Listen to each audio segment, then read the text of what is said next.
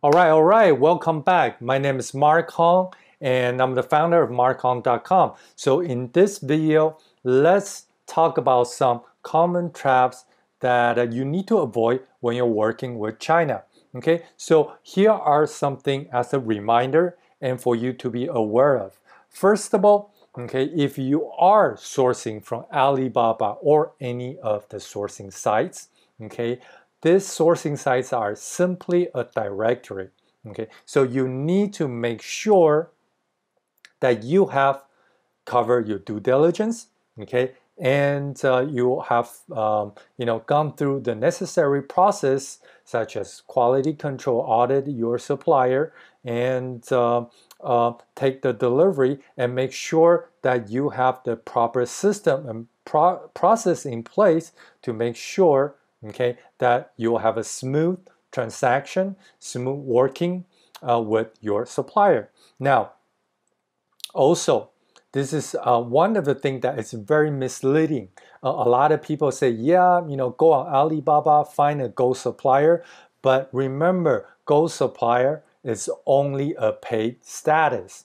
Okay, so anybody who can pay a little bit of money can get that gold status, right? Take for instance, if you are opening a shop, a brick and mortar store, right? You will have to pay rent. You'll have to do, you know, you have to sign a lease, do this and do that, right? You have to do credit check, okay? But um, you know, with Alibaba, you all you gotta do is just pay, and you get that gold status, right? It's much much cheaper than starting off a brick and mortar business, unfortunately. So even for the scanner, uh, the scammers, they know that right? So they can simply just say, you know what? There are tons of people out there. Let me just get a gold status and start my own business. Okay? So be be aware of that. Okay? Um, always, always verify your supplier. So now sellers, okay, on Alibaba usually also list their prices much, much lower, okay, than the actual selling price. So don't be surprised and don't do your research, okay, based on the price that you see on Alibaba. Always, always get that quotation first, okay. Um, I know that uh, some people, okay, they will intentionally use the price they see on Alibaba and go negotiate with their suppliers and hoping um, or even maybe not hoping, but then thinking that you know somebody's ought to sell me for that price, and that usually is uh, it's a lot of trouble. Okay, those that will tell you yes are usually not going to be able to fulfill them. Right? Any any experienced supplier, I mean, you know, I can just basically take uh, um, any product out there that um, you know whether it's electronics, textile, or um, you know some consumer consumable product and give me you know about a minute i can pretty much uh, tell you what the cost of the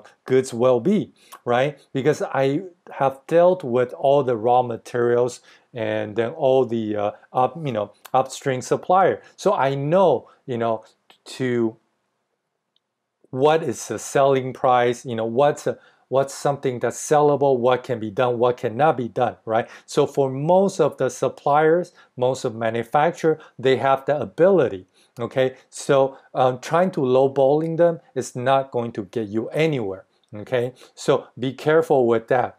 And, um, you know, and also another thing is you want to avoid the brand name trap okay? And that comes in many different forms for example someone will tell you yes um, you know uh, we manufacture for um, you know this uh, you know whatever brand right? Whether it's jbl or whether it's uh, um, you know apple whatever right? Now unfortunately okay with all this you know international or national brands okay who buy in large and bulk volumes, they have very, very strict contract.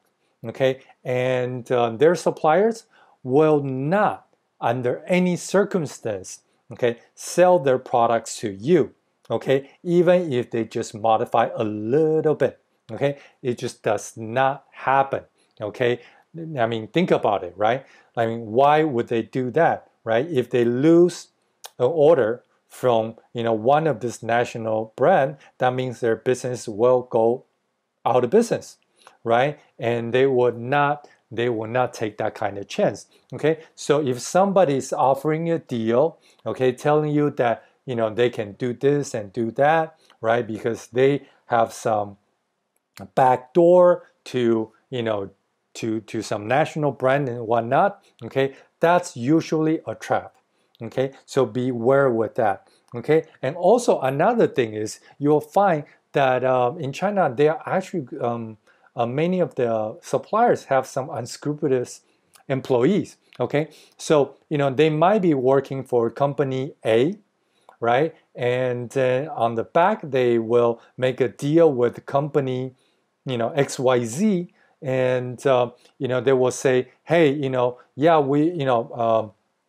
I can get you a much better deal somewhere else. Or, you know, this is something like, uh, yeah, we, um, you know, we are the same company and then your order will be placed with XYZ instead of ABC, right? So that kind of stuff happened quite a bit, unfortunately. Okay, so beware of that and make sure that you don't fall into that trap. So whoever you contact, whoever you work with, make sure it's the same company that you work with.